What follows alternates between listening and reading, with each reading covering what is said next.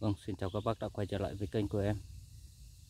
Mình xin giới thiệu với ờ, các bác đây là một cái loại ờ, thực vật này. một cái dòng cây cỏ mà nó có hoa rất là lạ. Nên em xin phép được review lại giới thiệu với các bác nhé. Đây các bác. Em đi chỗ khu vực này thì thấy cái cây này rất là lạ. Nó ra hoa nhìn lạ quá các bạn cái lá này đầu tiên thì nhìn nó giống như lá rau uh, quế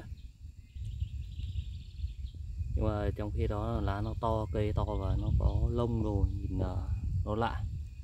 Và đặc biệt nữa là nó có cái uh, hoa đây các bác này.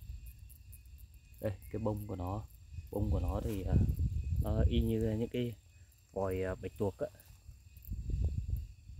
Nhìn rất là lạ lạ mắt lắm và cái, cái cây này thì ờ, nó mọc quang rất là nhiều các bác này. Đó. Nó mọc quang ờ, đầy các bác này.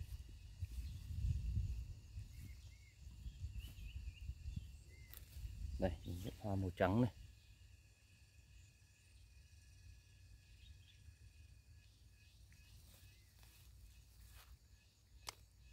Đó, rất là nhiều.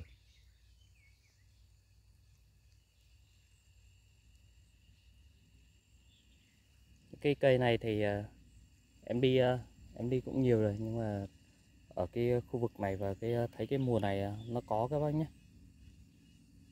Không biết ở những chỗ các bác thấy thế nào nhưng mà ở khu vực em thì em đi đây giờ mới thấy như như vậy đó. Đây hoa trắng. Rất là đẹp. Và cả, cả bên kia này cũng rất là nhiều. Thôi, video của em xin phép được kết thúc tại đây nhé. Cảm ơn các bác đã theo dõi video của em nhé.